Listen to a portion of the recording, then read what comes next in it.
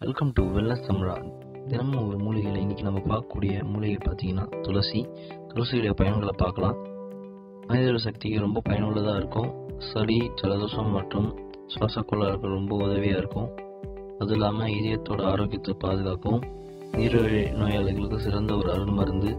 இது இல்லாமல் கல்லீரலில் இருக்கக்கூடிய கல் மற்றும் காலில் ஏற்படக்கூடிய வீக்கங்களுக்கு சிறந்த ஒரு நிவாரணி செய்யக்கூடியது தான் உடைய துளசி.